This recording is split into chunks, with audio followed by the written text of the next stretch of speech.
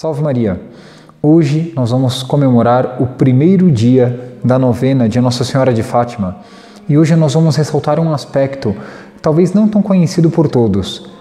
Em 1915, dois anos, portanto, antes das aparições de Nossa Senhora de Fátima, Lúcia, que depois se tornou religiosa, junto com mais três amigas, ela viu um anjo. Na verdade, neste ano ela viu duas vezes um anjo, que ela descreve como sendo uma espécie de boneco de neve iluminado pelo sol, de tão alvo que era este anjo. Mas isso passou. E no ano seguinte, aí já com os seus primos, que são Francisco e Jacinta, ela viu novamente o anjo, mas é de uma forma muito mais clara. E esse anjo vai preparar a chegada de Nossa Senhora. Então, já quase dois anos antes de Nossa Senhora aparecer para os pastorinhos, um anjo vinha preparando essas aparições. E o que fez o anjo? Vamos então narrar hoje as três aparições do anjo a Lúcia, Francisco e Jacinta. A primeira delas se deu no verão, entre a primavera e o verão de 1916. Eles estavam brincando são crianças, jovenzinhos. E de repente aparece um anjo que ela descreve como sendo uma luz mais branca do que a neve. E era um jovem meio transparente, como se fosse um cristal cujos raios do sol atravessavam e brilhava ainda mais. Parecia ser um jovem entre 14 ou 15 anos. E ele está ali, estático, e começa a pedir para os pastorinhos que eles rezem era necessário rezar, pois o mundo estava ofendendo muito a Deus Nosso Senhor e também a Nossa Senhora. Então ele até ditou a oração que eles deveriam rezar. E essa oração é a que nós vamos conhecer agora. Vou dizer essa oração e todos vão poder acompanhar aí na tela. Meu Deus, eu creio, adoro, espero e amo-vos. Peço perdão para os que não creem, não adoram, não esperam e não vos amam. E depois o anjo que tinha se inclinado até o chão, tinha se prosternado, ele se levanta, se reergue e pede para que eles rezem. Rezem muito, pois o mundo estava precisando. Era para rezar em reparação pelos pecados cometidos contra o coração sagrado de nosso Senhor Jesus Cristo e contra o Imaculado Coração de Maria e também rezar pelos pecadores para que eles se convertessem. E ao se identificar, ele dizia: Eu sou o anjo da paz. E depois que ele desaparece, as crianças ficam em silêncio. Por quê? Porque não havia palavras para, descrever o que eles tinham presenciado. Ficam um longo tempo em silêncio. E assim se passa a primeira aparição. Depois, já no verão mesmo de 1916, eles estavam brincando novamente. E de novo aparece o anjo. Só que dessa vez ele aparece e diz: O que fazeis? Estais brincando? Rezai, rezai muito, pois Deus está sendo ofendido. E o anjo então conclama a eles que façam orações, mas ele pede algo a mais. Se na primeira aparição o anjo ele se manifestava através da luz, desta vez ele vai expressar a cruz e vai dizer: façam penitência, fa ofereçam sacrifícios a Deus, o mundo está precisando e Deus escolheu. Nossa Senhora escolheu vocês três e leva muito em conta a oração dos três.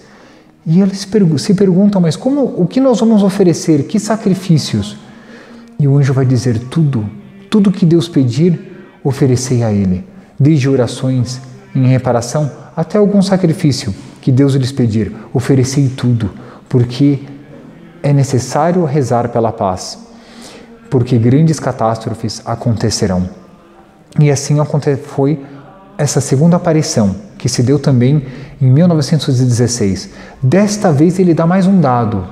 Ele não se identifica apenas como o anjo da luz, mas ele diz eu sou o seu anjo da guarda, eu sou o anjo de Portugal. E assim depois ele desaparece. Já no outono deste mesmo ano, o anjo aparece uma terceira vez. Dessa vez os pastorinhos já estão mais compenetrados, estão rezando muito, oferecendo sacrifícios a Deus.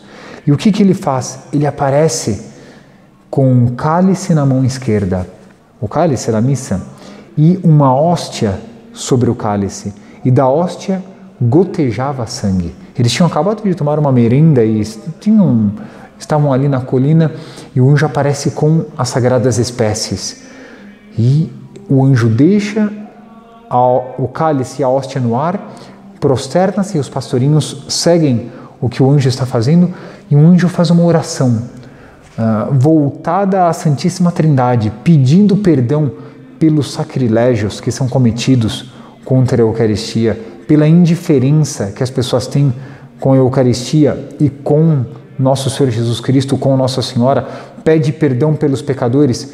Depois o anjo se levanta, depois de ter feito esta oração à Santíssima Trindade, e dá a hóstia para Lúcia e dá de beber do cálice para Francisco e Jacinta. E ainda repete três vezes esta mesma oração devotada à Santíssima Trindade. Depois de tudo isso, o anjo desaparece. Os pastorinhos novamente se prosternam e ficam rezando. O tempo passa sem eles se darem conta, e já era noite quando eles se levantam e vão em silêncio até suas casas. Três aparições de um anjo, o anjo de Portugal, para preparar a vinda da Santíssima Virgem.